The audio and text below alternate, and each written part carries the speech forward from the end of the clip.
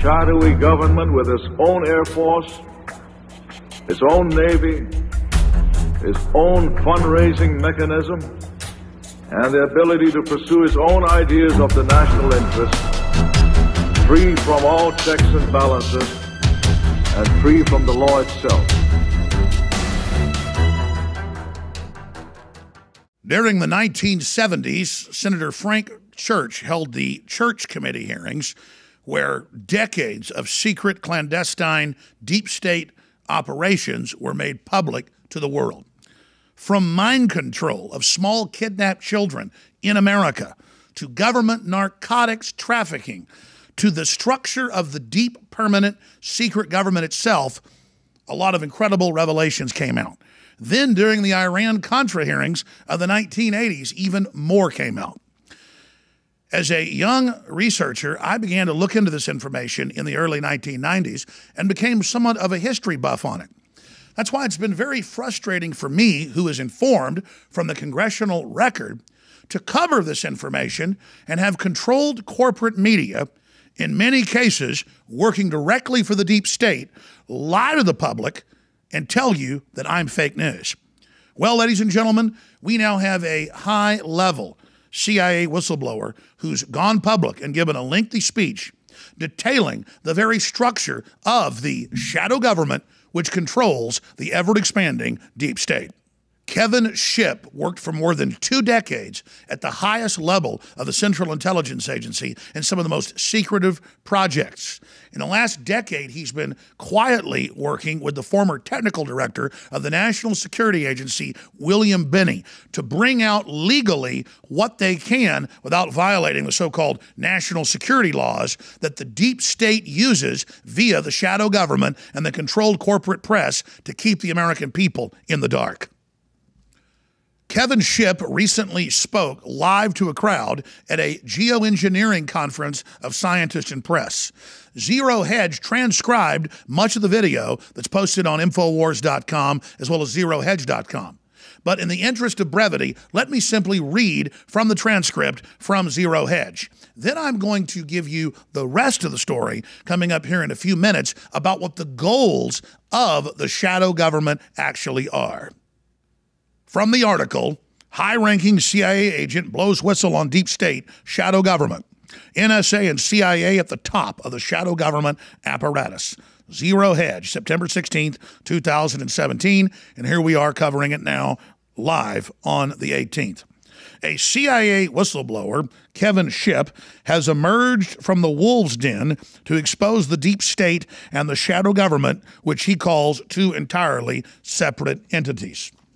And again, the reason this is so important is he says there's a civil war in the deep state trying to alert the public to how the shadow government controls the deep state. The deep state's not the enemy.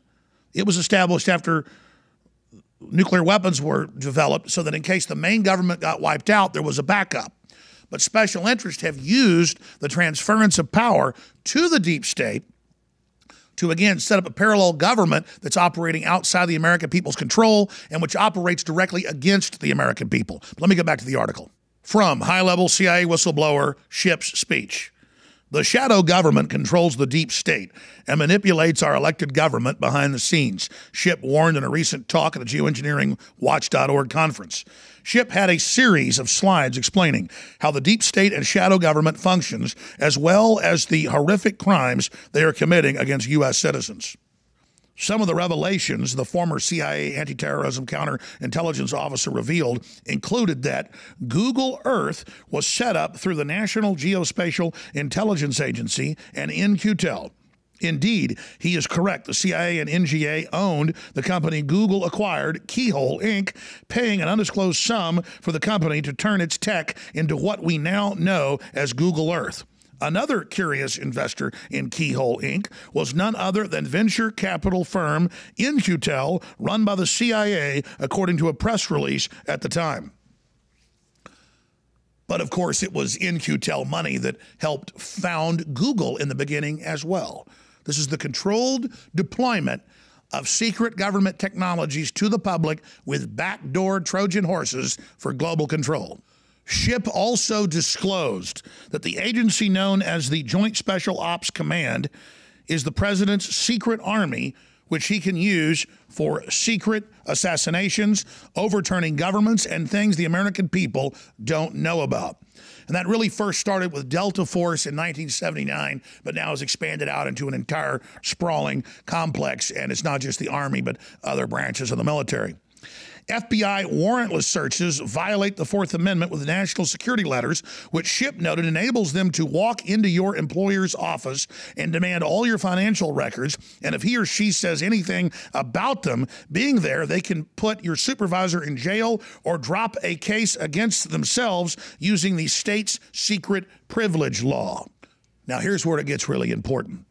The top of the shadow government is the National Security Agency and the Central Intelligence Agency, Shipp said. Shipp expressed that the CIA was created through the Council on Foreign Relations with no congressional approval. And historically, the CFR is also tied into the mainstream media. He elaborated that the CIA was the quote central node of the shadow government and controlled all of the other 16 intelligence agencies, despite the existence of the DNI. The agency also controls defense and intelligence contractors to manipulate the president and political decisions, has the power to start wars, torture, initiate coups, and commit false flag attacks, he said. As Shipp stated, the CIA was created through executive order by then President Harry Truman by signing the National Security Act of 1947. Then the shadow government began to absorb the legitimate government and parlay American power into global domination. My words, not Shipp's.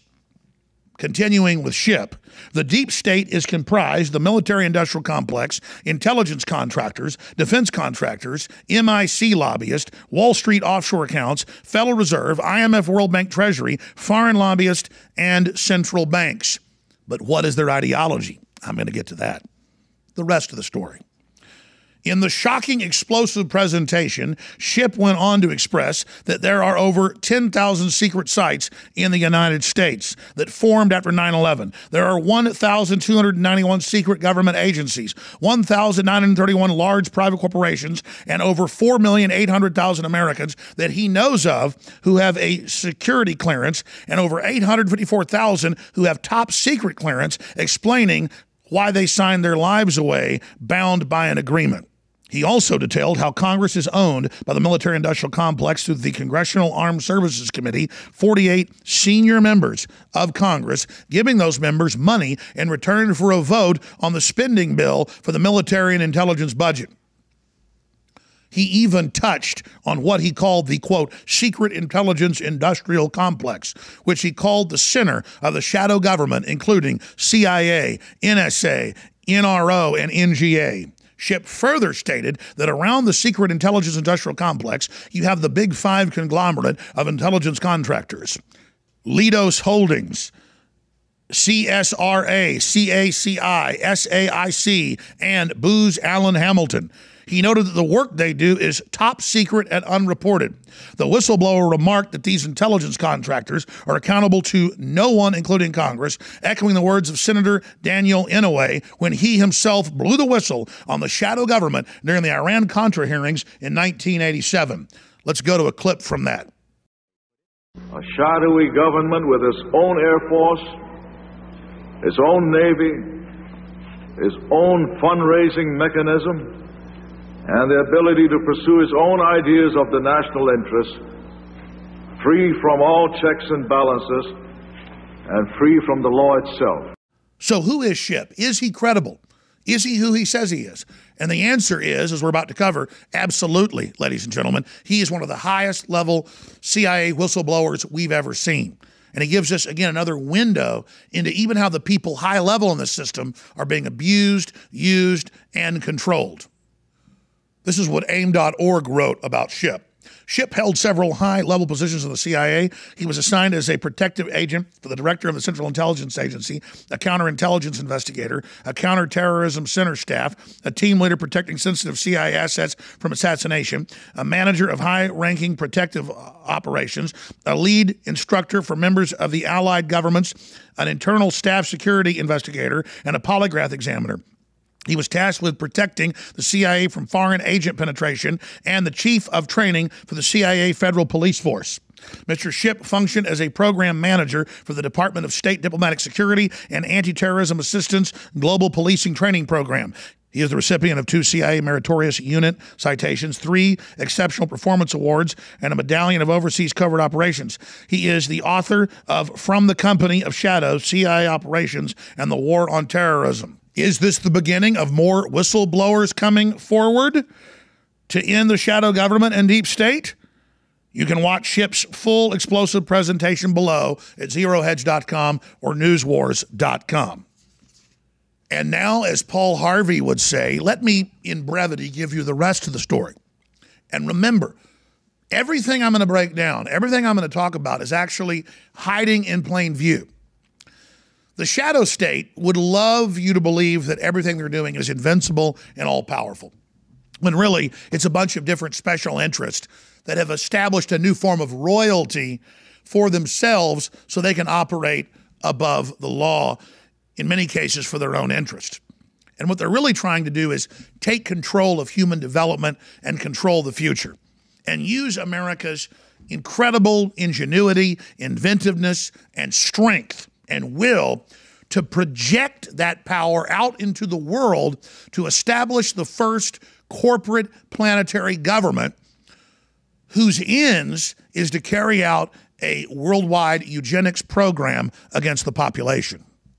But I want to be clear the so called deep state is made up of our military, it's made up of anybody that's signed any type of confidentiality forms, that works for major corporations, that do government work. A large part of our country is involved in this so called shadow system, which was established again to defeat the Soviet Union and to survive a nuclear war. So many of the people involved in the shadow government are not bad people. Many of the people involved in the deep state are not bad people. But it's critical to understand that the people that have burrowed in and gotten control of the shadow government are in control of the deep state and thus our taxes, our regulations, our nation, our direction. And so if you ask, why is the media lockstep anti family, anti Christian, pro Islamic? Why is the media for open borders? Why is the media for globalism? Why is the media attacking uh, marriage? Why is the media attacking men and women? Why is the media promoting race war? Why is the media promoting Hollywood garbage? And it's because the people that craved power and the people that got control of the national security state from the moment it was born in 1947 are very wicked, controlling, twisted souls who, more than anything, lust after power and control. And as we know, the ultimate form of control is abusing and hurting or even killing small children. And that's why, from the deep state that controls the Vatican to the deep state that controls our major intelligence agencies to Congress, you see perpetual occultism, pedophilia, and bizarre behavior. Because as we read in history books, power corrupts, absolute power corrupts absolutely. And these elites have been out of control forever believing they're above the law, doing things so evil and corrupt that, like psychopaths who don't get caught, tend to get more and more reckless. They've gotten more and more reckless and are now basically trying to get caught. They're begging all of us to stop them. Control freaks want to run your life. And to do that, they've got to build an artificial environment. They've got to take your resources and build their breakaway civilization so they can play God but they don't want you to have access to the life extension technologies. They don't want you to have access to the quantum computing. They don't want you to have access to the AI because if you had access to that, you would be a competitor to them. So the deep state's greatest crime is that they've deployed technology to the American people and to people of other nations, but only with back doors in it that surveil us and control us and let them know our hopes and dreams so they can manipulate us. The deep state has a goal to dehumanize and reduce world population from between 80 and 90 percent. Their documents are public. And they are carrying out covert operations where they are adding sterilants and where they are adding cancer viruses and other slow kill and soft kill weapons to the vaccines. Fluoride, added in 1947, was a national security act. The Nazis and the communist Russians had done it to lower fertility and lower IQ. Uh, keeping iodine out of the food supply, also about reducing population. And their argument is if you're dumb enough to not know you need this, you deserve what's happening to you. Ladies and gentlemen, they've stolen the future. Special interests have gone in, set up a secret government, and they've broken away. And the hope here is that there are good people inside the deep state not many inside the shadow government, who know that this is evil. And now they've gotten f- further enough down the line to know that enough pieces of the puzzle have been put together because they're compartmentalized as well to understand the end game is global government and global exterminism and an anti God, anti family hell. So, because they understand the end game is corrupt, they're fighting back, they're leaking information, they're speaking out. And they supported Donald Trump because it was believed he wanted Americana, he wanted prosperity, he wanted God, guts, and guns again, not the socialist hell that the globalists are trying to push. And to a great extent, Trump has delivered so far. But he's being pulled in and surrounded by the swamp that covets power more than anything else. That's why it's important for us to devolve power from the globalist systems, from the big box stores, from the New World Order operations to our own towns our own cities, our own schools, our own businesses, and to rediscover what Americana is. And to say no to the globalist that would steal the future. And to understand they've used the secrecy to establish a system that, if they used it to empower humanity, would take us to the stars, but instead is trying to kill the West and kill the very Renaissance that was so powerful it gave birth to the technologies that have allowed many of these globalists to basically have the control and foresight and knowledge of demigods. Ladies and gentlemen, now more than ever, it's critical for you to make a decision about the facts we presented here. And to understand the reason I've been demonized and attacked and made fun of everywhere is because they think you're weak minded and they don't want you to pay attention to what I've been saying for 22 years. The truth is, we've been dead on because we're going to the source white paper documents where the globalists have arrogantly been communicating in public about this plan. The truth is, I'm dead on. And the truth is, I'm still alive because of you supporting me and many people in the deep state that are patriots that understand the truth. So the evil globalists are afraid to kill me because it might turn me into a martyr or they might get caught. We're in the middle of a civil war, deciding the future destiny of this republic and the world. And people making jokes about this, or people not paying attention, or folks deciding they don't matter, so just let somebody else handle it, is what has put us in the position of almost being technotronic technocracy slaves. Let's continue with what our ancestors did and stand up for what's right. Let's focus on being engaged and informed, and let's turn this world around. Because as Thomas Jefferson said, the only thing an evil men and tyrants need to flourish is that good men and women do nothing. And the truth is, the tide is turning, history's happening, and it's because of you, the info warriors, that this planet has a shot of being free. That's not hype, it's the truth. The globalists know you're the most awake, informed people out there. They know you're the tip of the spear. So now more than ever, double down your efforts to reach out to everyone you know to inform them about the facts and share this video with everybody you know. Second hour is coming up live with Owen Schroyer and more straight ahead. I'm Alex Jones, and this is the Info War.